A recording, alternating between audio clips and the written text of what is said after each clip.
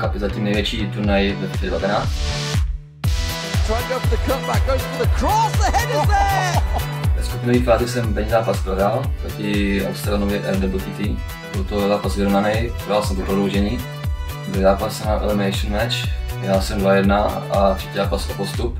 No, opět proti super Pirně v první zápase porazil. What's he doing? What's he doing? He's giving Mike a chance, giving him an opening. Is it going to get capitalised on? Yes, it is! Tak já jsem mu to vrátil, vyhrál jsem 3-1 a postupoval jsem do 8. finále, který se hrál další den.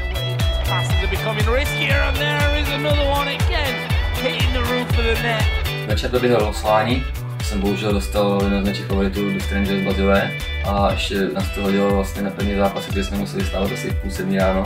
Hodně hezká stávačka teda a jeli jsme na half, big header from Hullet. Defender there though. There is Vieira off the post, and Hullet comes in. zápas jsem prohrál 5-4, když to byl zápas na hodu, jednou jsem vedl, pak jsem prohrál, pak jsem se vedl Eusebio into Hullet, takes the shot, hits the top corner as well. a nakonec jsem teda prohrál 5-4 a zápas vlastně přestavem bylo 2, to byl součet.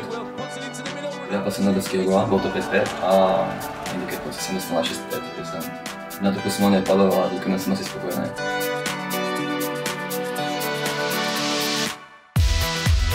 Už neděle, mám asi volný den, takže můžu si dělat co chci, asi se na chvíli podívat na venue na, na finální zápasy a pak se podívám po tom krásném městě. Taky toho něco měl.